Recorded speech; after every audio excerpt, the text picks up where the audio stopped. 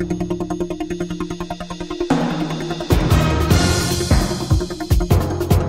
محمد سيد نصر طالب في كلية هندسة جامعة القاهرة قسم الطيران والفضاء آه، الحكاية بدأت إن كان عندنا مسيرة حيدة في الجامعة يوم 10 12 اعتمادا على مقتل طالب في الأزهر المسيرة انتهت وحصل اشتباكات بين المسيرة والداخلية صار فيها طلبة كتير. بعد المسيرة انتهت خدت تاكسي مروح البيت. كان في كمين بيوقف أي حد يشتبه فيه اللي هو خارج من المسيرة. الظابط وقفني قال لي أنت شغال إيه يا ابني؟ قلت له أنا طالب في كلية هندسة. قال لي طب انزل لي على جنب هنكشف عليك. بس آه، شوية تهزيق وشتيمة وقله ادب وشتيمه بالأب والأم إحنا لما بيكوا هتعمل فيكوا إيه وأنا هتشوف مش هتشوف الشمس تاني. بس فخدني وبتاع على الاسم عمل لي محضر اللي أنا كنت مشارك في في اثاره الشغب و- و- وحرب المدرعات والتظاهر والترخيص والانتماء لجماعه محدود بس تاني يوم اتعرضت على النيابة. النيابة طلبت تحريات مباحث أمن الدولة. رحت تاني يوم أمن الدولة. طبعا الوضع في أمن الدولة وضع صعب جدا من تعذيب وكهرباء وضرب. كل همه يعرف معلومات. وعايز يطلع منك بأي اسم أو أي معلومة على الفاضي حتى لو معلومة خاطئة. قعدت ساعتين جوه مع ضابط أمن الدولة بيكهرب فيا ويعذبني ويضربني. بحيث لو يعرف أي معلومة طبعا الله في مصر 90% منهم بيخدم السلطة وقليل جدا اللي هو ال 10% ممكن لسه بيشتغل بضميره ومش بيشتغل بالتليفون. فطبعا الوضع مهزلة. يعني أنا أول يوم رحت عشان اتجدد لي دخلت قدام القاضي قال لي اسمك إيه يا ابني؟ قلت له محمد سعيد. قال لي خلاص يا ابني 15 يوم.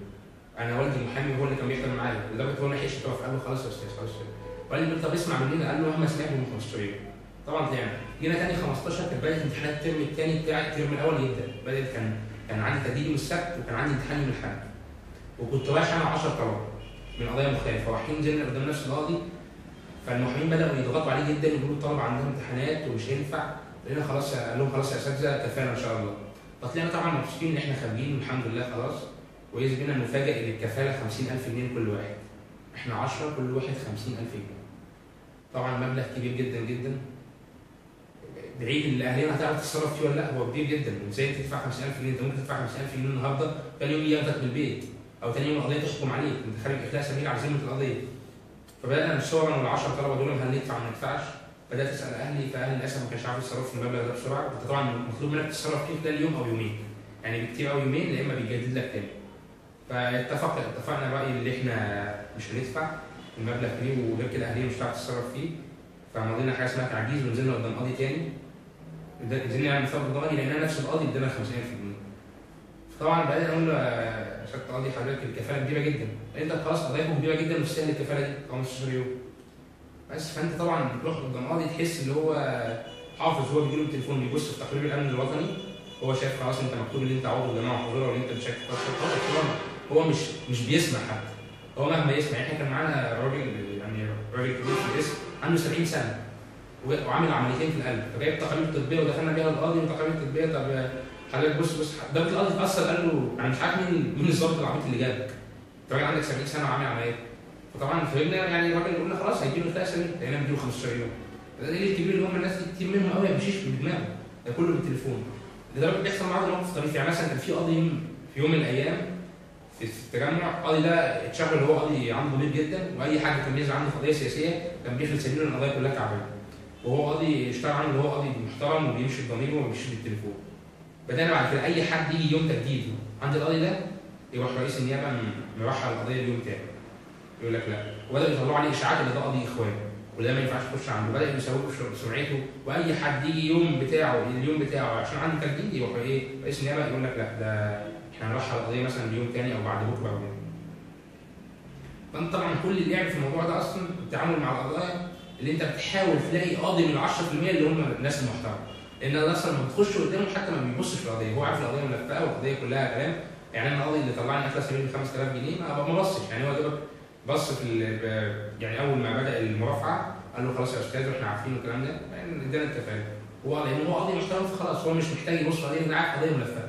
أما طبعا القاضي بتاعهم يعني أنا مرة اتكلمت مع واحد فيهم لما كانت جديد لي أول مرة 45 يوم فكلمته قلت له أنتوا كده أنتوا كده بتدفعونا لشيء وحش أنتوا كده أنتوا كده بتصنعوا التطرف بتصنعوا الإرهاب في السجن.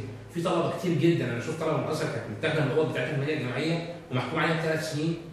أنا مش عايز أقول لك حتى هي بتشارك أو بتعارض النظام لا دي طالبه ملهاش أي حاجة يعني دول حتى يعني هو لو طالب بيشارك ولا حاجة ماشي ممكن هو يستحمل لكن طالب متاخد من على السرير بتاعه في المدينة الجامعيه وهو مش مشارك أصلا في الوضع ولا بيشارك في الوضع واخده حكم عليه ثلاث سنين. تخيل الطالب ده لما بيخرج بيبقى عقليته عاملة إزاي؟ فأنا قلت له أنتوا كده بتحموا السلطة. وحمايتكم للسلطه ده هيضيع البلد. وأنتوا آخر ممكن في البلد. وحمايتكم للسلطه هتضيع البلد. قال لي خلاص خلاص ما تدخلنيش في مواضيع سياسية. أنا قدامي قضيه وأحكم فيها. يعني حتى القضية القضية درجة القضية بتاعتنا مثلا القضية بتاعتي كان مكتوب فيها إن أنا مشارك في المظاهرات يوم 11 12 وأنا مسؤول من يوم 10 12 لكن الامن الوطني لو بيكتب التقرير غلط وكتب اللي هو إيه كان يشارك في مظاهرات جامعة القاهرة يوم 11 12 وأنا أصلا مسؤول يوم 10 12 فأنت تقول القاضي كده يقول لك لا لا دي غلطة كتابيه لأن ده هو حتى كتب التقرير غلط. ويكتب بقى كلام لا أساس له من الصحة وتهم عجيبة. وتلاقي واحد داخل بتهمه عجيبة جدا. طب مثلا يعني واحد مثلا كان عنده 23 سنة متهم اللي هو كون تنظيم ارهابي سنة 97 لأن هو عنده سبع ثمان سنين. والقاضي مصدق وبيجددها طب إزاي؟ طب يعني يقول لك آه واحد تاني متهم اللي هو كان معاه قنابل. طب فين القنابل؟ طب فين الحبس؟ مفيش كلام على ورق واحد تاني متهم اللي بيته مخزن سلاح. طب فين الكلام ده؟ كلام على ورق يعني يبقى بيته مخزن سلاح ومحرزين عنده موبايلات ولابتوب. طب إزاي؟ فالوضع مع القضاء كان صعب جدا. للأسف 90% منهم بيحمي السلطه بيحمي النظام الحالي ما بيشتغلش ده بيشتغل بالتليفون. أمن الدولة يقول له جدد جدد طلع طلع طبعا الواحد مهما اتكلم عن عن سجن أو كده بس الواحد أول ما يحس بتقييد حريته بيحتاج فظيع جدا. يعني الواحد حتى أنا قبل ما أخش كان ممكن الواحد شايف زمايله بيعتقل يعني الأمر وارد بالنسبة له لكن أنت أول ما تقفل عليك باب الزنزانة وتحس أنت مقيد حريتك ده إحساس طبعا لا يوصف بحس اهلها طبعا أنا والدتي كانت متأثرة جدا. والزيارات في الاسم بالذات كانت زيارة تبقى لا تزيد عن دقيقة أو دقيقتين. وساعات يخليه يدخل الأكل لا وما يدخلوش. طبعا أول كام يوم ده كان صعب جدا بالنسبة لأهلي هو مش عارف يشوفني مش عارف يطمن الجو عامل إزاي؟ طب إيه؟ اما إحنا بالنسبة لي إحنا الأول إحنا قعدتنا مع بعض إحنا مجموعة كلها طلبه إحنا جماعة دكاترة في الجامعة وطلبة في طب وطلبة في هندسة ومن جميع الاتجاهات وجميع التيارات ففي يعني كوكتيل جامد جدا جوه اسمه أصول الاسلام والسجون. طبعا انت بتحاول تعمل برنامج لليوم بت... بتعدي اليوم بحيث الدنيا مش صعبة. بالفعل إحنا حتى في السجن كنا بنعمل برنامج يومي تمارين صباحية وبالليل حلقة سمر واخر النهار بنعمل درس علم. فالدنيا كان الوقت يعني لذيذ جدا جوه. انت بتحاول تعديه ومهما كان طبعا تغيير الحريه صعب بس انت بتحاول تعدي الوقت أما بالنسبة لاهلك بقى طبعا هم إيه بيسمعوا كتير أخبار عن تعذيب في السجون عن اضطهاد. طبعا أنا والدتي على فكرة بتيجي زيارة شادة جدا ومعتقد إن أنا جوه بتبهدل فأنا قلت لا ما تقلقيش وكده. الزيارة في السجن هتبقى أحسن شوية لأن هتبقى 10 دقائق ربع ساعة بس مهما كان برضه. بس اللي بيجي لك من بره طبعا هو بيتوقف عليك. فأنت بتحاول على قد ما تقدر أنت ما تشوف أهلك تبين لهم أنت معلوماتك عالية وروحك كويسة واللي أنت مستحمل وثابت ومكمل. ده طبعا بيأثر عليهم بره كتير. أما ليه كده يعني هو لو والدتي جت وشافتني مكشر ولا شافتني مثلا تعبان أو زعلان ممكن تقعد زي مثلا تبقى كل أسبوع في السجن ممكن تقعد لحد الأسبوع اللي بعده في حالة نكد وزعل. طبعا الوضع طبعا بيبقى عليه صعب جدا. أنت مثلا لو واحد اتاخد من اسره واحدة الأسرة كلها بتقع. طب أنا مثلا طالب ومعيش مسؤوليات. أنا كان معايا ناس ثانية متاخدة واحد مثلا عنده ثلاث بنات وزوجته فزوجته لوحدها بتيجي لوحدها بثلاث بنات وهو بيصرف عليهم. في الوضع بالنسبة له بيبقى صعب جدا برضه. يعني واحد بيتاخد من الأسرة بتوع الأسرة كلها. هم مش لاقيين عائل يصرف عليهم وفي نفس الوقت معاها بنات بتيجي ليهم كل أسبوع السجن والزيارة في السجن طبعا عشان تخش الزيارة أصلا صعب. الطابور ممكن تقف طابور ثلاث ساعات وقلة أدب طبعا وتهزيء ومسموح بثلاثه بس. يعني كان مثلا تروح الزيارة لو انت أربعة يقول لك خلاص مالكش زيارة خالص كلكم امشوا. طبعا ظابط واقف قاعد يقل أدب على الأهالي وأي أهل أي واحد يتكلم ممكن تقف عشان تخش الزيارة. الأهالي يعني أنا والدي كان بيتحرك الساعة 5 الفجر يصلي الفجر ويمشي.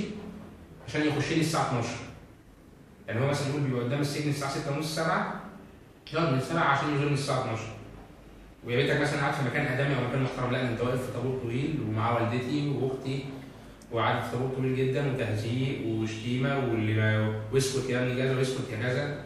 طبعا الوضع يعني أنا والدي ما بيحكي لي مخاوف أنا كنت للأسف بستحمل بالعافية.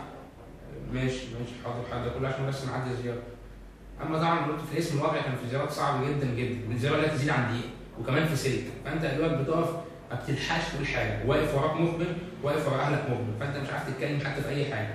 يا دوب بتسلمهم اللي هتسلمهم من هدومك أو حاجة مش نظيفة وتاخد الأكل يا دوبك عاملين إيه؟ الحمد لله خلاص. أنا عندي نصيحتين للناس اللي بره المعتقل بره السجن أول نصيحة للمعتقل جوه أنت عندك من 25 30 ألف معتقل عدد اتراك من 25 30 ألف. الناس دي قوي محتاجاك بره محتاجة تشوف اللي انت بتجاهد أو بتشتغل عشان قضيتهم. يعني أنا كنت بفرح جدا لما أعرف المسائل المسائل شغالة والمظاهرات شغالة والناس شغالة. طبعا إحنا علينا دور كبير قوي وليهم حق علينا كبير قوي. أنت ما ينفعش تتفرج في حقهم بره أو تسكت أو تقعد في بيتك. فأنت قلبك إن أنت تكمل بره. الناس دي دخلت عشان مطالب معينة. أو حتى مش عشان مطالب في ناس كتير منها مظلومة. فأنت دورك إن أنت تطالب بحقهم. وانت عليك العمل بس ومش عليك النتيجة. دي أول نصيحة. تاني نصيحة للشباب اوعى توقع نفسك وسط إيد الناس اللي ظلموا. إنك أنت بتمكن نفسك من الناس ظلمه فأنت حريتك بالنسبة لك شيء مهم جدا. ولازم تحافظ على حريتك لأقصى درجة. واللي أنت ورا بتخدم جامد جدا. وانت تتمنى أنت ما تتمناش إن أنت تعتقل أو حتى يجي في بالك ال- إن أنت تعتقل لا أنت تتمنى إن أنت تخدم القضية بره واللي أنت تكمل بره عشان تنفع الناس اللي جوه. عشان هم يعني إحنا مثلا لما الدنيا كانت بتشد برا قوي 25 يناير كده كان هم جوه بيخافوا علينا شوية ويهدوا علينا. حتى لما كانوا بيجوا يرحلونا للجلسه كانوا بيدونا في ميكروباص نقل عن ميكروباص عادي ميكروباص سيرفيز ما بيودناش في حبايه شرطة من كتر الخوف. وحتى لما كانوا بيدونا بوكس شرطة كان بيخبوا النمر وقلق وما يدخلوش حد بسلاح وسلاح يخبوه. فأنت كل ما تشد برا كل ما تشتغل برا أكتر كل ما هو المعتقل هو بيحس بنتيجة ده وبيحس إن في ناس شغاله عشان خاطره. طبعا الشباب كله الشباب يحافظ على حريته الاكثر